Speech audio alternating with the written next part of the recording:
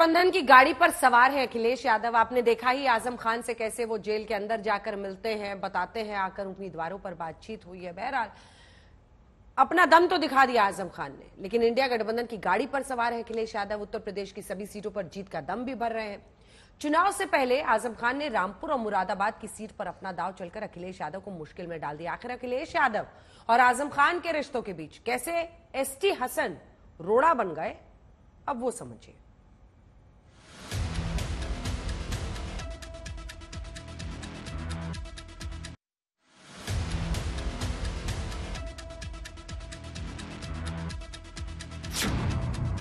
आपसी झगड़े में फंसी रामपुर और मुरादाबाद की सीट।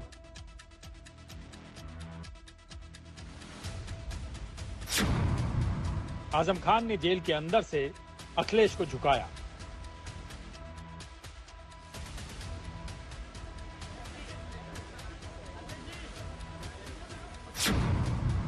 चुनाव से पहले समाजवादी पार्टी में बगावत का खतरा। ये वही आज़म खान हैं जो समाजवादी पार्टी में नंबर दो की हैसियत रखते हैं। चाहे मुलायम सिंह यादव का जमाना रहा हो या फिर अखिलेश यादव का। लेकिन सूबे में समाजवादी पार्टी की सरकार गई और आज़म खान के बुरे दिन शुरू हो गए। आज आज़म खान जेल में हैं और रामपुर का सियासी किला ढह चुका है। नहीं तो एक दौर वो भी था जो रामपुर तो छोड़िए। पूरे प्रदेश में आज़म खान की सियासी हनक और ठसक दुनिया ने देखी थी। इतनी जल्दी है मेरी बर्बादी की। क्यों आखिर क्या गुनाह है मेरा एक वोट ही तो माँगता हूँ और वोट भी नहीं मांगा कभी नहीं मांगा आपसे। कभी नहीं कहा मुझे वोट दो। हमेशा कहा मेरा साथ दो। कहते हैं आज़म खान जेल क्या गए? अखिलेश यादव के साथ उनके रिश्तों में दूरियाँ बढ़ने लगी। कुछ लोग मानते हैं कि आज़म खान इस बात से नाराज़ हैं कि बुरे वक्त में अखिलेश यादव ने उनका साथ नहीं दिया। जैसी उम्मीद आज़म लगाए बैठे थे। लेकिन किसे पता था कि रिश्तों में यही दूरी एक दिन खाई में तब्दील हो जाएगी और रामपुर की सीट को आज़म अपनी नाक का सवाल बना लेंगे। सूत्रों से मिली जानकारी के मुताबिक सीतापुर जेल में हुई मुलाकात के दौरान अखिलेश यादव ने आज़म खान से रामपुर और मुरादाबाद सीट को लेकर चर्चा की। चर्चा के दौरान आज़म खान ने अखिलेश यादव के सामने रामपुर से चुनाव लड़ने की शर्त रख दी। बातचीत के दौरान आज़म यही कहते रहे कि रामपुर से अखिलेश खुद चुनाव लड़े या फिर उनके परिवार का कोई सदस्य लड़े। इसके पीछे आज़म यही मानते हैं कि रामपुर को अब समाजवादी पार्टी की तरफ़ से तवज्जो नहीं मिल रही है। मुलाकात के बाद अखिलेश यादव ने यही सोचा कि मुरादाबाद से एसटी हसन का टिकट रिपीट कर देते हैं, क्योंकि चर्चा के दौरान आज़म खान ने उनके नाम के सिवाय किसी दूसरे का नाम नहीं लिया था। दरअसल आज़म खान एक तीर से दो सियासी निशाने लगाना चाहते थे। पहला निशाना अखिलेश यादव को रामपुर से चुनाव लड़ने के लिए राज़ी करके अपने गढ़ को दोबारा जीत लेते। दूसरा मुरादाबाद से रुचुवीरा का टिकट दिलवाकर एसटी हसन को अपनी सियासी ताकत का एहसास कराते। लेकिन अखिलेश के फैसले से आज़म का तीर निशाने पर नहीं लगा और पूरा प्लान पलट गया। आज़म खान को पता चला कि अखिलेश यादव रामपुर से चुनाव नहीं लड़ेंगे, वहीं दूसरी तरफ़ एस टी हसन के टिकट का ऐलान कर दिया। मतलब आज़म खान का दाम नहीं चला। बस फिर क्या था? आज़म खान ने प्रेशर पॉलिटिक्स का बटन दबाया, जिससे अखिलेश यादव को बैकफुट पर डाल दिया। देखिए, पूरे उत्तर प्रदेश में समाजवादी पार्टी के कार्यकर्ता, नेता चाहते हैं कि उनके लोकसभा क्षेत्र में आदरणीय अखिलेश यादव जी चुनाव लड़ जाए। आदरणीय अखिलेश यादव जी का अगर चुनाव लड़ेंगे, वो फैसला आदरणीय अखिलेश यादव जी का है कि लड़ना है, नहीं लड़ना है। लेकिन वो जिस भी सीट से चुनाव लड़ेंगे, वो सीट को जीतने काम करेंगे। रामपुर की जनता भी चाहती है कन्नौज की जनता भी चाहती है। लेकिन पार्टी हित में जो भी बेहतर होगा, वो फैसला पार्टी का नेतृत्व एक तरफ़ अखिलेश पर दबाव बनाने के लिए जेल से खत लिखा तो दूसरी तरफ़ रामपुर में आज़म के गुट ने प्रेस वार्ता कर चुनावों के बहिष्कार का ऐलान कर दिया। जैसे ही अखिलेश को आज़म गुट के मंसूबों का पता चला, डैमेज कंट्रोल में जुट गए। चुनाव से पहले आज़म खान की नाराज़गी दूर करने के लिए हसन का टिकट काट दिया। एसटी हसन की जगह आज़म खान गुट की रुचि वीरा को मैदान में उतारा। वहीं रामपुर में गुटबाजी से निपटने के लिए अखिलेश ने आउटसाइडर को टिकट थमा दिया। रामपुर में आज़म खान का दाम भले ही नहीं चला, लेकिन मुरादाबाद में रुचि वीरा को टिकट दिलवाकर आज़म ने अखिलेश का निर्णय बदलवा दिया। दरअसल एसटी हसन लंबे वक्त से आज़म खान की आँखों में किरकिरी बने हुए हैं। दोनों के बीच विवाद की एक वजह यह है कि जब से आज़म के दिन गर्दिश में पड़े हैं, यानी वो जेल में हैं, तब से पार्टी का मुस्लिम चेहरा एसटी हसन बन गए हैं। यही नहीं, अखिलेश यादव ने उन्हें लोकसभा में विधायक दल का नेता भी बना दिया। कहा जाता है कि जब से आज़म खान और उनका परिवार जेल में गया है, तब से एस टी हसन ने उनकी कोई सुध भी नहीं ली है। वहीं आज़म खान उत्तर प्रदेश की कई सीटों पर न सिर्फ़ अपनी पकड़ रखते थे, बल्कि अपने मुताबिक उम्मीदवार भी तय करते थे। लेकिन जब से वो जेल गए, पार्टी ने उन्हें अपने हाल पर छोड़ दिया। आज़म का ये दर्द चिट्ठी के मजमून में छुपा है, जो उन्होंने बीती शाम अखिलेश यादव को लिखी है। हालाँकि एस टी हसन कभी आज़म खान के चहेते हुआ करते थे। मुरादाबाद के मेयर रहते, उन्हें आज़म ने ही लोकसभा का टिकट दिलाया था। लेकिन आज़म खान के जेल जाते ही वो अखिलेश के करीब पहुँच गए। यही बात आज़म खान को चुभ गई। रुचि वीरा को टिकट दिलवाकर आज़म ने अपना बदला ले लिया। कुल मिलाकर अखिलेश यादव और आज़म खान की आपसी लड़ाई अब सतह पर आ गई है। दोनों के झगड़े में सियासी नुकसान समाजवादी पार्टी का होना तय है, क्योंकि इन दोनों सीटों पर कौन किसे जिताएगा और कौन किसे हराएगा, ये कहना मुश्किल है। आज तक ब्यूरो।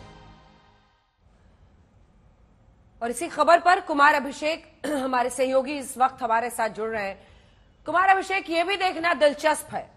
एक शख्स जेल के अंदर है, नाम है आज़म खान, और वहाँ से वो तय करते हैं कि कौन मुरादाबाद का असल उम्मीदवार होगा। एक दिन पहले उनके पुराने जो, जिनके वो मेंटोर थे एस टी हसन भरते हैं उम्मीदवारी, फिर आज रुचि वहाँ पर भरती है और कुल मिलाकर मुहर उसी पर लगती है, जिस पर आज़म खान का हाथ है। क्या है ये मतलब?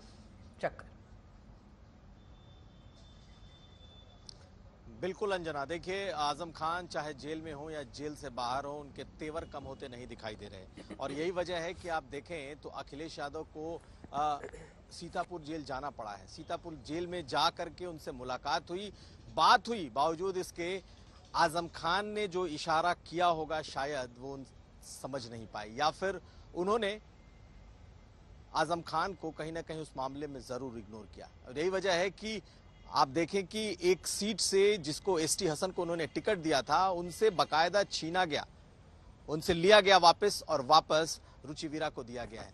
तो निश्चित तौर पर आज़म खान जेल में भले चले गए हों, लेकिन वो सियासी तौर पर आज भी खुद को कमज़ोर नहीं समझ रहे और जिसे कहते हैं कॉलिंग द शॉट्स तो वो जेल से ही वो तय कर रहे हैं कि आखिर उनके उनकी जो सीटें हैं, यानी कि उनके प्रभाव की जो सीटें हैं, समाजवादी पार्टी ने भी पहले से ये तय कर रखा था कि जो चाहे रामपुर हो, मुरादाबाद हो, बिजनौर हो, ये ऐसी सीटें हैं जिसमें चलेगी, आज़म खान की चलेगी। लेकिन हुआ बिल्कुल उल्टा और आखिरी दिन देखिए किस तरीके का, एक तरीके का तमाशा बन गया है। निश्चित तौर पर आज़म खान ने अपनी चाल चली, लेकिन अब ये पार्टी को उल्टा पड़ने जा रहा है। ये बिल्कुल साफ़ दिखाई दे रहा है। अंजना।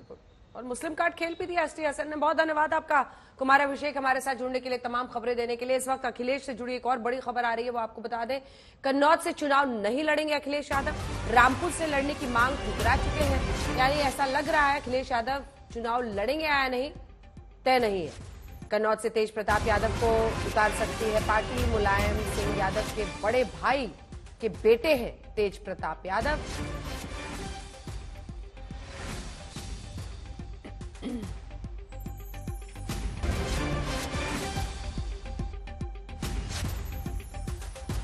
कन्नौज से तेज प्रताप यादव चुनाव लड़ सकते हैं। जो तमाम सेफ़ सीटें वो एक एक करके लग रहा है कि इधर उधर दे दी जा रही हैं, जो एक वक्त पर कहिए कि सेफ़ सीटें हुआ करती थी बहरहाल। लेकिन इन सब के बीच ऐसा क्या लग रहा है? अखिलेश, चुनाव नहीं लड़ेंगे? समर्थ? अंजना, बिल्कुल लगातार चर्चा इस बात की ही है कि अखिलेश चुनाव लड़ेंगे या नहीं लड़ेंगे, लेकिन सूत्रों के मुताबिक जो जानकारी मिल रही है, अखिलेश यादव चुनाव लड़ने के मूड में है नहीं, क्योंकि वो फोकस करना चाह रहे हैं यूपी पर ज़्यादा। हालाँकि कैंपेनिंग में वो ज़्यादा वक्त बिताएँगे, हर सीट पर जाएँगे जो जानकारी मिल रही है और एक नया नाम सूत्रों के मुताबिक निकलकर सामने आया है और तेज प्रताप यादव का नाम है। हालाँकि परिवार से ही है तेज प्रताप यादव मैनपुरी से सांसद भी रहे हैं, राजनीतिक उनका एक्सपीरियंस भी ठीक ठाक रहा है, लालू प्रसाद यादव के दामाद भी हैं तो बिहार कनेक्शन भी उनका बन गया है। तो ये चर्चा है जो कन्नौज के समाजवादी पार्टी के नेता है, उनको तेज प्रताप यादव का नाम भेजा गया है। कि आप वहाँ रहिए ग्राउंड की रियलिटी समझिए और तेज प्रताप यादव को अगर चुनाव वहाँ से लड़ाया जाता है तो क्या नतीजे हो सकते हैं? इसको लेकर चर्चा कन्नौज के जो सपा खेमा है, वो भी कर रहा है और लखनऊ से जो वरिष्ठ नेता समाजवादी पार्टी के हैं, वो भी संपर्क में है। हालाँकि नए, कई नामों को लेकर बातचीत हुई थी। हालाँकि अभी औपचारिक तौर पर पार्टी ने इसको डिनाई नहीं किया कि अखिलेश यादव कन्नौज से चुनाव नहीं लड़ रहे हैं, लेकिन